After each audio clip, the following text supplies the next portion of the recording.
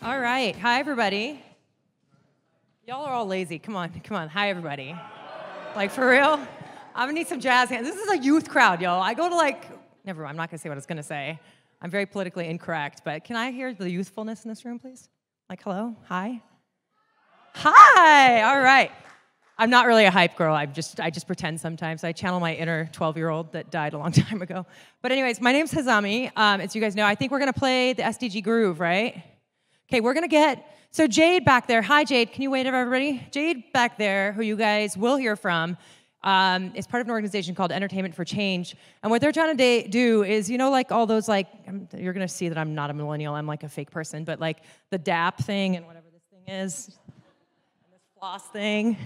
I can't do it, whatever, you know? Um, they're trying to make an SDG groove thingy, uh, and they're about to play it. So whoever wants to feel inspired and get up and do your groove thing, please do. So with that, go. I'm gonna try to do it up here too. Thanks, whoever laughed. I hate you. No.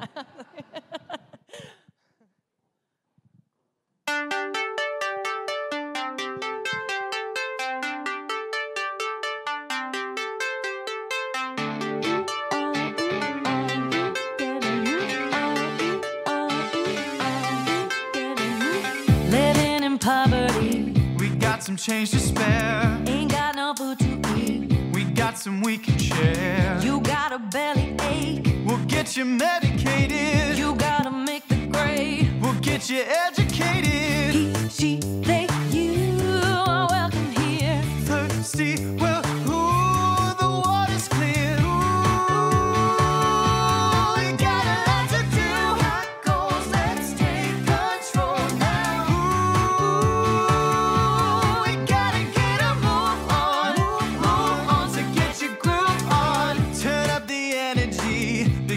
solar powered. In this economy, we're working by the hour.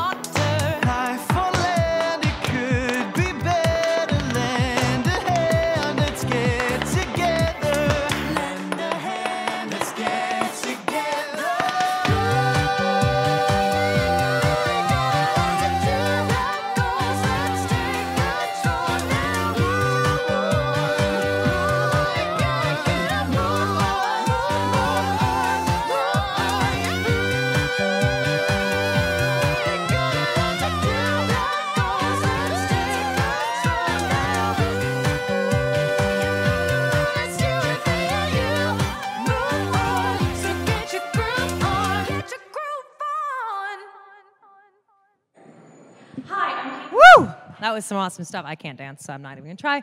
But anyways, um, we're gonna go straight into my presentation.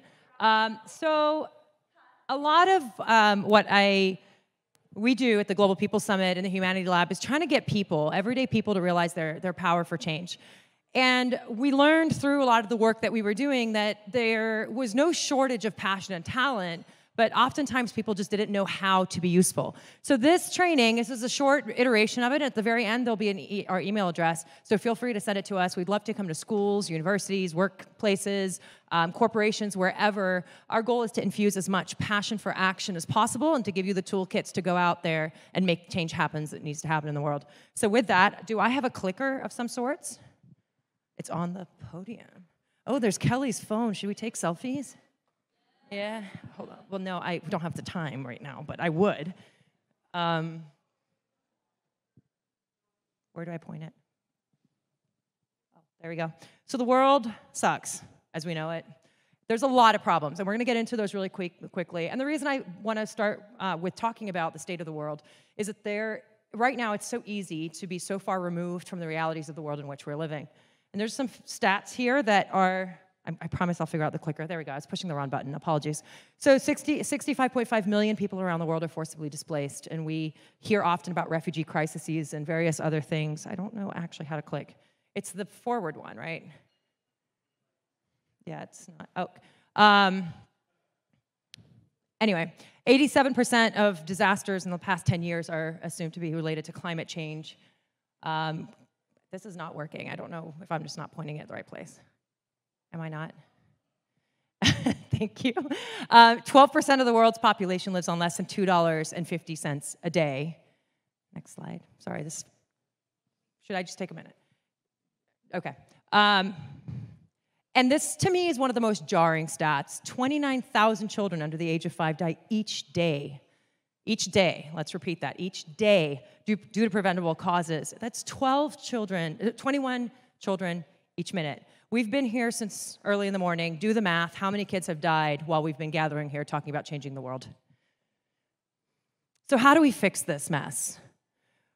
And the SDGs, as we've heard throughout the day, are a roadmap for action. In essence, there's 17 goals with the goal of changing the world. Now, what's behind these goals? 17 goals, there's 169 targets that provide, in essence, a blueprint, so to say, of how we're going to actually achieve peace, prosperity, and development to every nation and every person globally. And these were adopted by member states at the United Nations in 2015. And in essence, for some people that do know, the Millennium Development Goals and it weren't necessarily as successful as they intended to be, and the SDGs came as a way to not only enhance progress globally, but also to kind of create a multi-stakeholder process around the goals, to actually share responsibility among stakeholders, saying to corporations, individuals, communities, this is your agenda too. This is not a UN agenda or a government agenda. This is a collective global agenda and global roadmap for action. And one of the things is you'll oftentimes hear people say, like, what is your goal? You know, it's like one goal issue. The reality is goals are so interconnected. You can't have gender equity or gender justice without also looking at infrastructure and education and poverty. You can't fight poverty if you don't also look at connectivity, lack of partnerships, corruption, lack of peace and security, and so on and so forth. So, as much as people will tell you to pick a goal, the reality behind the goals is that they are, they are all interconnected and interdependent. And I think that's one of the biggest things with the SDGs is intersectionality becomes more important than it has before. Now, what will it cost to actually achieve the SDGs? Lofty goals, great, really hard to achieve, but there's also massive financial deficits in order to achieve the goals themselves. And it requires, as you see here, mobilizing an additional $2.5 trillion a year to achieve these ambitious goals by 2030. Whoops. Now, the challenge becomes, too, is that clickers and I are not friends, guys. That trust globally is eroding. And this is something that I really want to stress. Is, we're talking a lot about young people. One in 10 young people do not trust government. Uh, that's, that's pretty jarring as a fact. And, and 6% of young people trust companies, which is also extremely low. And so, as much as we have all of these ambitious, like corporate social responsibility agendas, as much as we have all of this, there's still a massive disconnect in trust and how we're actually building the infrastructure to connect people to solutions. um, ineffective solutions are often driven, and this is a, based on a lot of the work and research we've been doing at the Humanity Lab, is really looking at why there's this apathy happening and why what we perceive to be inaction around the goals. Um, number one is apathy. People just feel like it's so big, I just don't know what to do. I'm not even gonna try. It's so overwhelming. Silos. There are corporate silos, as we talked about earlier. There's no shared metrics between institutions and organizations. Governments do their thing, civil society does its other, people are protesting in the streets. And everybody is just kind of doing their own little thing in a bubble, hoping that their bubble gets so big that it starts to like push other bubbles out of the way. But as we know, that's, that's not the reality of, of what happens. And silos also create a lot of unintended consequences and a lot of inaction and ineffective action. And then complexity. The complexity of the situations, as I mentioned, all the goals are super interconnected, and so many global problems are so sticky and murky. And we're going to get into this in just a little bit. Most of the biggest problems of the world, if you actually take a moment to think about it, are based on values and human beliefs. A human belief cannot be measured. If I believe a girl does not have a right to go to school, no institutional building is going to change that if it's against my value system as a person. Or if I believe I have the right to own a gun, who are you to tell me I do not have the right to own a gun? So a law can be passed, but aspirationally, I'm not there with you. So a lot of what we talk about in the work that we do is really thinking about um, challenging the status quo and challenging perspectives on development across the board. And it does require to challenge thinking inside and outside of systems. And I stress inside of systems because far too often we look at creating alternative processes. But history has showed us that we need to actually start to think about how to create embedded solutions because the reality is, I don't see in any near future that we're going to create an entire new United Nations, but a lot of people say that they've stopped believing in the effectiveness of an institution like the United Nations. So, can technology and innovation fix things? I heard earlier one of the uh, panelists was talking about AI uh, and various other things. And one of the things I want to just bring to your attention is you know, the, the positive parts of innovation, but also there's a lot of murkiness around innovation and tech. Um, so we hear about all these cool things, and innovations, innovation does allow us and enable us to tackle some extreme problems around the world. But what we're not necessarily thinking about is the unintended consequences of innovation and technology and programming that we're working on.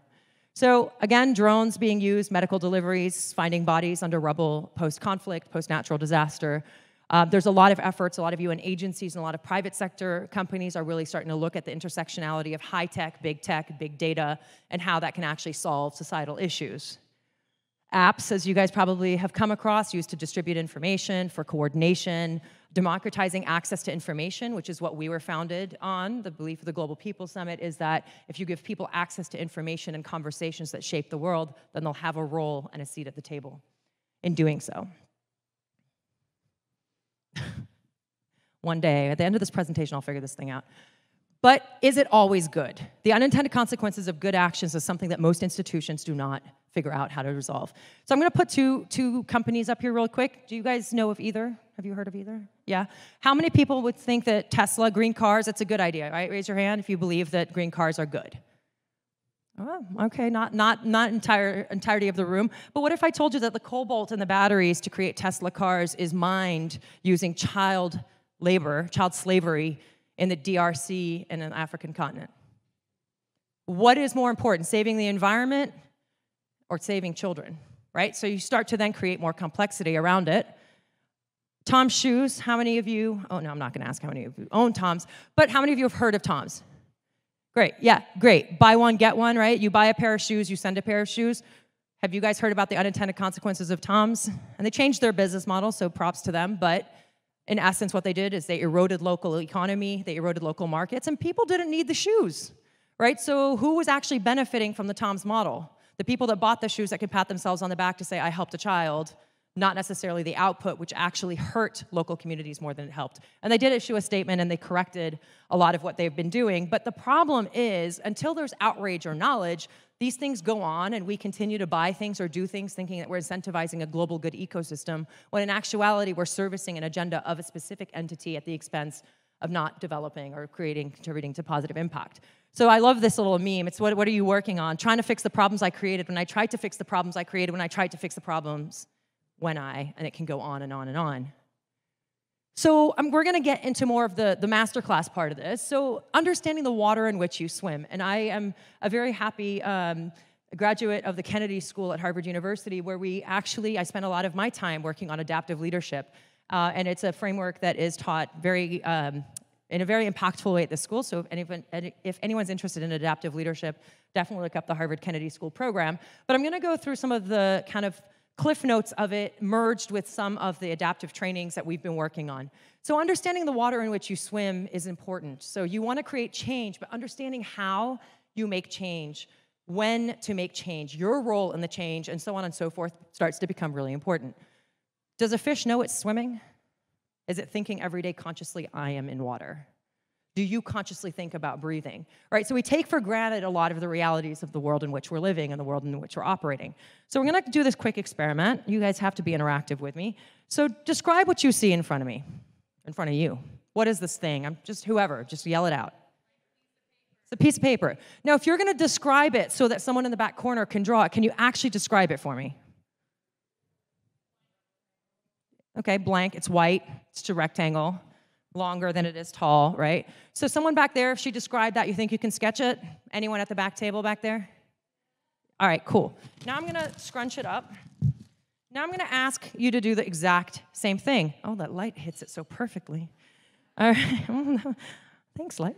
Um, describe what you see in front of you. Describe the shapes. Describe what you see in front of you.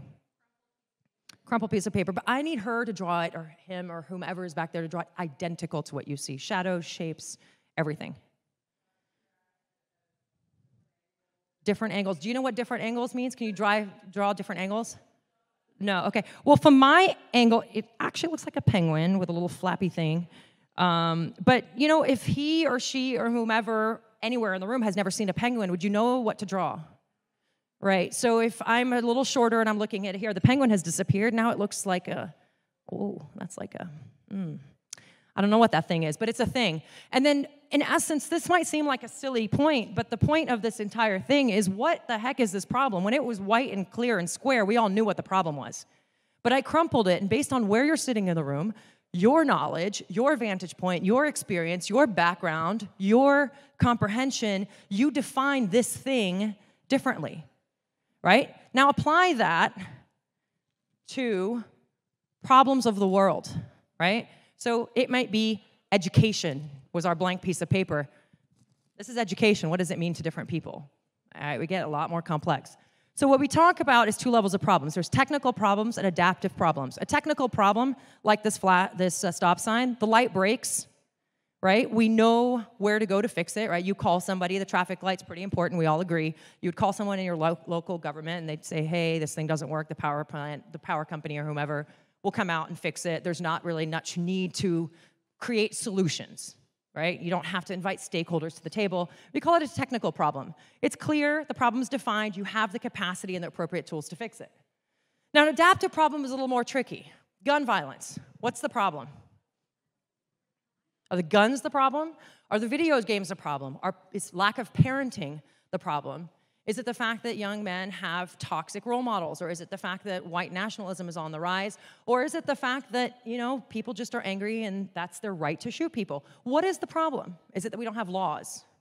Right? So when you start to think about the problems when you come to more technical issues, there's a gap in not only the capacity, knowledge, and skills, but really starting to think about what does the solution start to look like and to whom, and how can you bring these people along with you?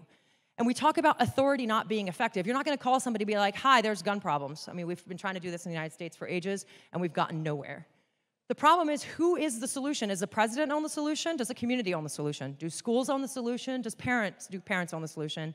Do mental health services own the solution? What is my problem? And as such, what is my solution? So the problem is there's no right solution to complex global problems. I'm being told that my time is up, unfortunately. But leadership, in essence, starts to st- steer people towards a solution. And part of that is really mobilizing the capacity to have people see the problem the same way that you do. So a lot of us are solving for 10 steps down the line. We're not realizing what are, are we actually solving the same thing? Do we actually see the problem the same way? Do we identify the resources and capacity the same way? And can I get other people to see this vision for this thing that might be a problem? And this is a piece of paper, and we couldn't even agree on what this little tortoise thing looked like, right? Could you imagine any other issues? Stick refugee uh, issues in here, stick migration, stick border problems in there, stick name a problem. We got it. So, leadership is about creating collective responsibility. And I talked about this earlier. We all have to be part of this global ecosystem for solutions because no one owns a problem. And the problem with a lot of the way our organizations function today is everyone feels they have ownership of the problem itself. And I promise I'm just going to go through these last two so you guys can get to the last slide and follow up with us. Boop, boop, boop, boop. Um, responsible actions are human centered, they're integrated, and this is my most important thing you solve with people, not for people. And I promise you, I'm going to slide through. So we need to do good better, in essence. And um, this is part of a larger training. So if you guys are interested, feel free to pop over and email to us. And we're happy to come to your universities, your institutions, your schools, and actually start to unpack all the different parts of what I went through extremely quickly. Our goal is to connect amazing, inspiring people and resources and passions and talent with the challenges of solving some of the most complex global problems through the paradigm of the United Nations um, Development Sustain- Sustainable Development Goals. So feel free to reach out to us, uh, and I hope that I at least inspired you to now walk, leave out of here never thinking of a piece of paper the same way. Thank you.